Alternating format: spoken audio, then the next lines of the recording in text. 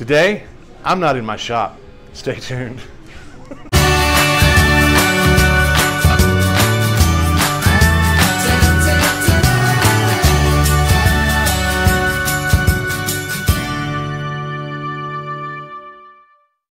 Hi guys, so for those of you that don't know, my name is Michael and I am the woodworker for MK Designs. The sewer is right there, but she's not going to get on camera.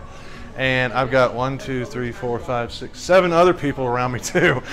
Um, for those of you that don't recognize this place, this is James King's shop. The King family has in- invited us over and they've been great hosts. And we were able to play around with some things. I got to use the Grizzly. Yes, I did. Um, Maya actually taught me how to turn. I've never turned anything in my life, and Maya actually taught me to turn. And so I made this. James King actually let me make, make my own mallet, and I'm taking it with me. So I'm going to turn the camera around, and everybody's going to say hi real quick, and then we're going to get to the video, all right? Thank you. Hang on. You know Cy and James, so obviously Shy is the photo. That. Cy is the photo bomber, and James is James. this is Rupa, as some people refer to her as Mama Bear, JP. and sorry, I can't remember your name, dude. Kyle. Hmm? Kyle. Kyle. Why am I having problems with I don't know. that? anyway, and Maya, obviously.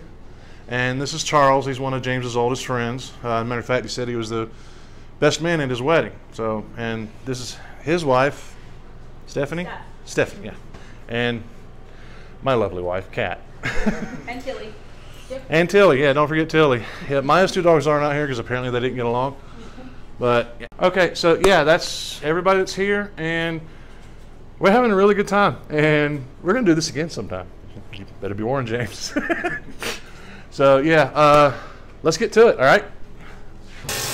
Okay, so I didn't really get any video of me using the table saw or the jointer or any of that because we really didn't know we were going to do this recording until about this point. And obviously, this is where Maya is showing me how they make the handles for their Thor's woodworking mallets and teaching me how to use the lathe. So I'm not going to talk too much about what I actually did throughout this because this is really just a bunch of friends getting together and having a good time. So Maya made a comment about the wood she's working with smells like pickles, so of course I had to smell it. And it actually does smell like pickles. So of course once she was done with her part of it, making the one mallet, it was my turn at the lathe. And with her guidance I was able to make a handle and I think I did a pretty decent job. I mean, it's not as good as theirs, obviously, because it's my first time turning anything.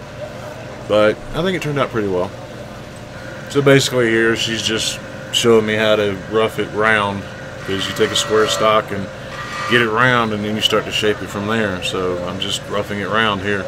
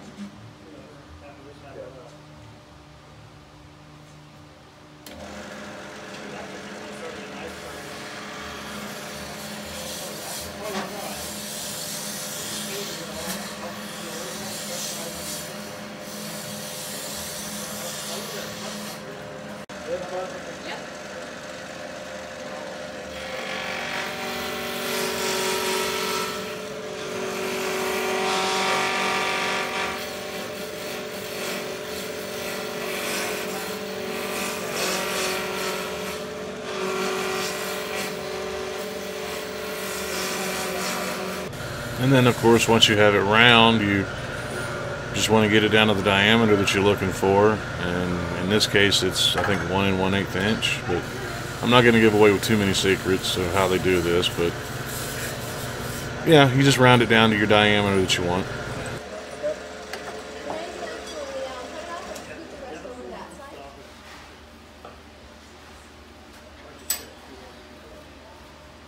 And since you're screwing it, you might as well get it super, super close. Just let it free spin it out for you.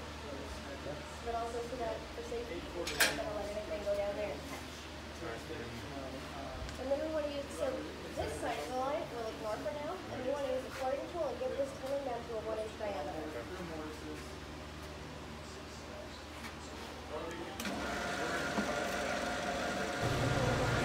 And here I'm starting to shape the top of it for the tenon that goes into the mallet head.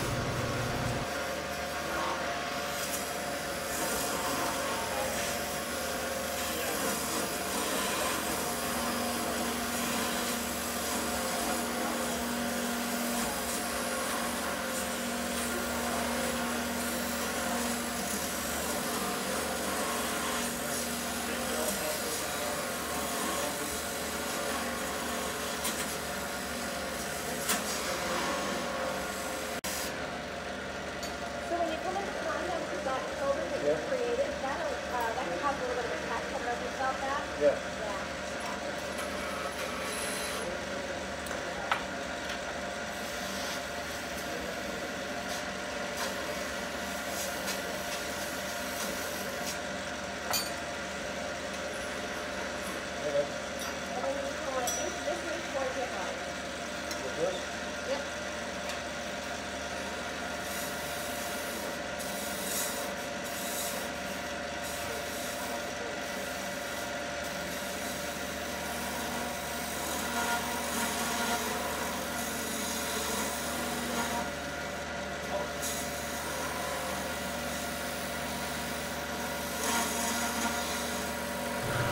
I think I need to get Kat to record more often for me because I'm having to do actually very little editing with this. I'm noticing she did a really good job and I'm happy.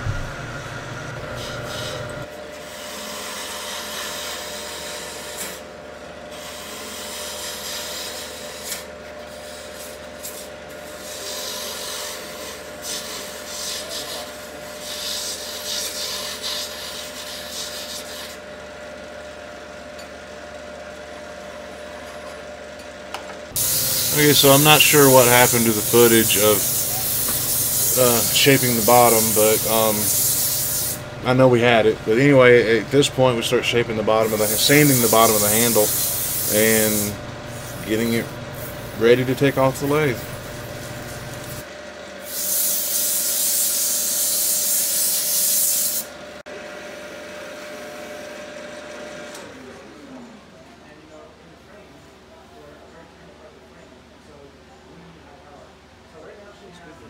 All right. Well, I think there's And at this point, Maya is showing how much more experienced at this than she she is than I am because she can still see tool marks when I can't. so yeah, it takes a little bit of experience, I guess.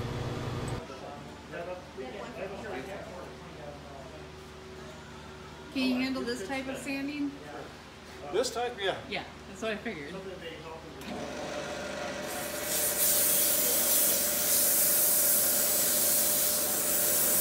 So once we had it sanded down to 1500 grit, um, put some wax on it just to help protect it and fill in any of the scratches from the sandpaper or any tool marks we might have forgotten to take off.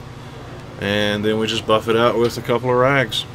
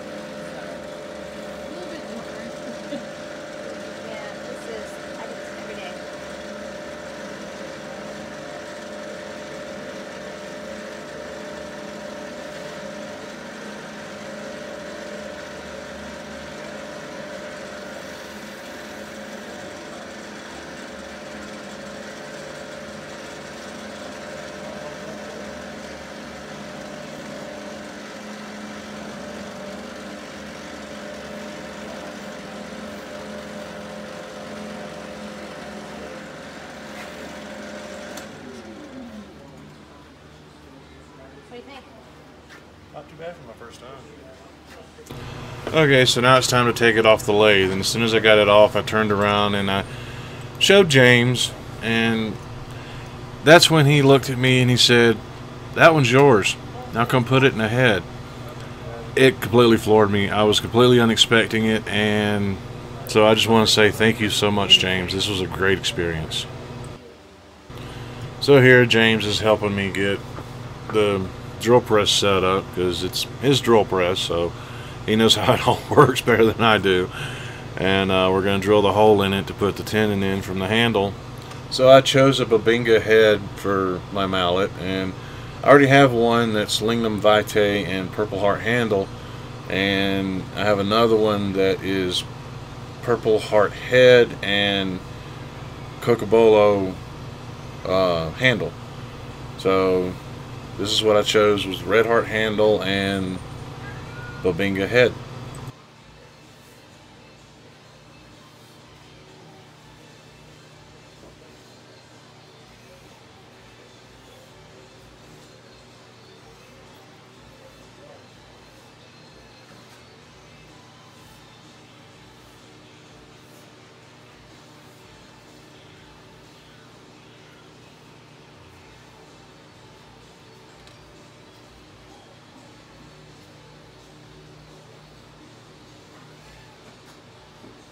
That's it. So this is hard to hold, but uh, you can hold that, you can drill it. If you can't, I can get a clamp. So just drill a little bit, and then you know, it's like you move a lot of material in a really hard way. You got glasses on? Which glasses on?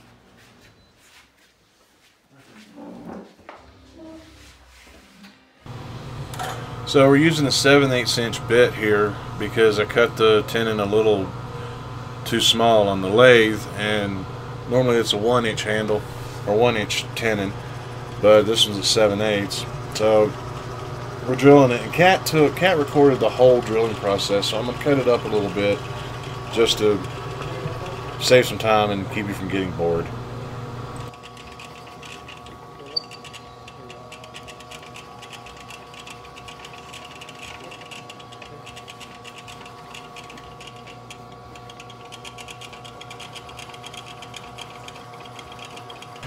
So James and I decided just to, I grabbed one side, he grabbed the other, and we could hold it in place, which it worked out great.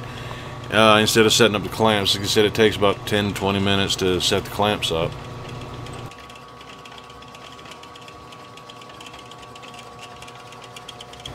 And as you can see here, it started to burn the Bubinga. Um, just have to go so slow, and it just burns from time to time, is what James said. And now we're nearing the end, coming through the other side of the head. I mean, it didn't take very long. I mean, it only took a little over three minutes to drill the whole thing, but that was going slow.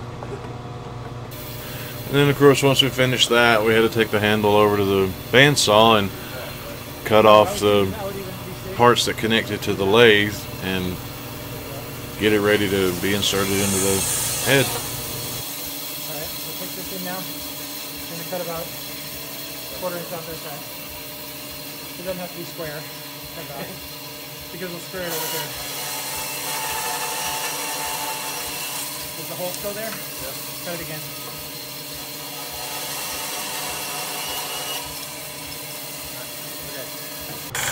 Now, for those of you that don't know, James is an organic chemist, and he taught organic chemistry um, at the university level for many, many years.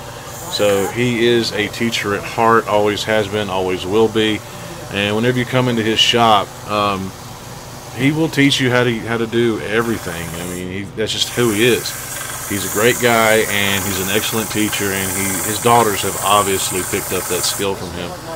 That's a skill that I wish I had uh, a better handle on. Um, I can teach a little bit, but I'm I'm not a teacher like he is. He's fantastic. So I'm just sanding down the end of the handle, and then I'm going to flip it over and sand down the tenon to get it to fit into the hole that we drilled in the head, and then we'll put everything together.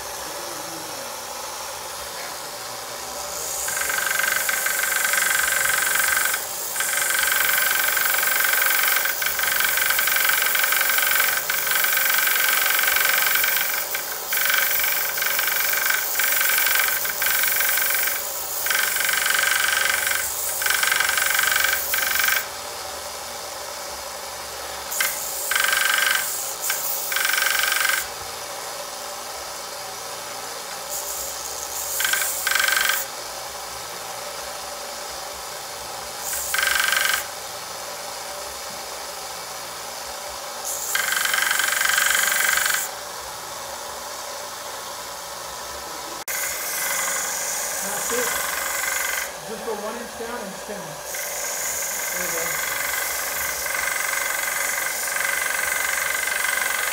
That's it. Now see if you in a couple.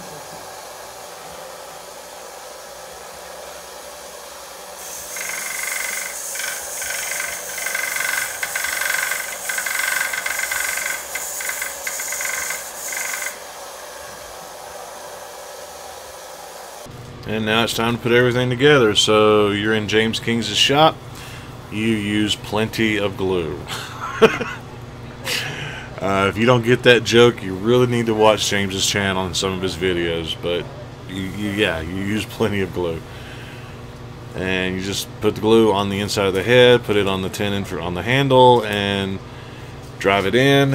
And then you put glue on the little wedge that you put in, and drive the wedge in and let it sit for about 30 45 minutes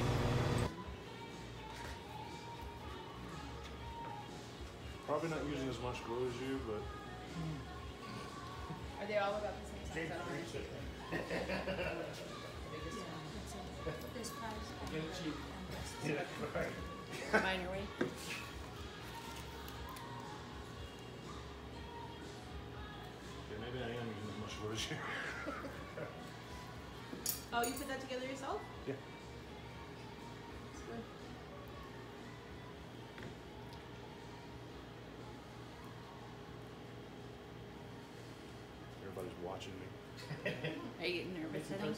no Okay. doing the youtube channel has helped with that Yes. Oh, you're messing up. all right mr king There's a hammer there next to you. Right in front. So, so hold the head and slam it down a little bit.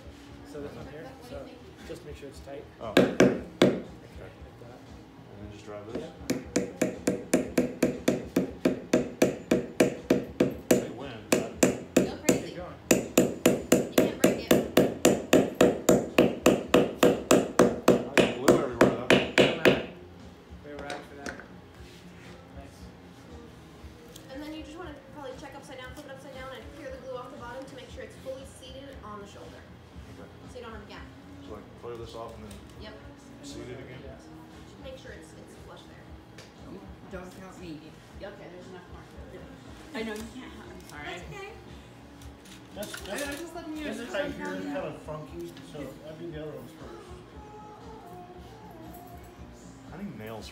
I just trimmed my nails.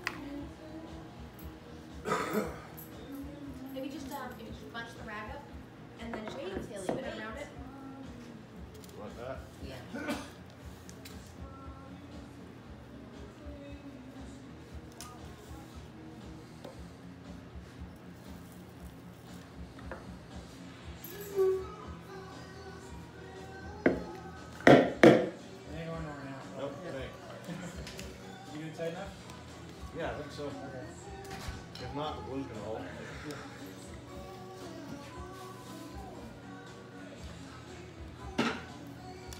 Okay, I guess that's as good as I can get it right.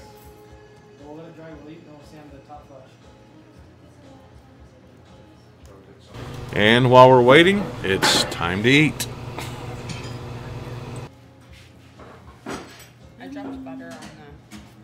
Once we're finished eating, the glue is dry and I can start sanding the top of it flush. And I was gonna finish the whole thing up before I put this video and put lacquer on it and all that, but I haven't gotten to that yet and I wanted to get the video out there. So yeah, uh, I just sanded the top flush and then I brought the mallet home and I'm gonna finish it up at some point and I'll get a short video of that put up and get some pictures put up. I promised James I'd post a lot of pictures of it once it's finished. So yeah, that's pretty much it, guys. Again, this was a great experience, and we all had a lot of fun, and we're going to do it again sometime.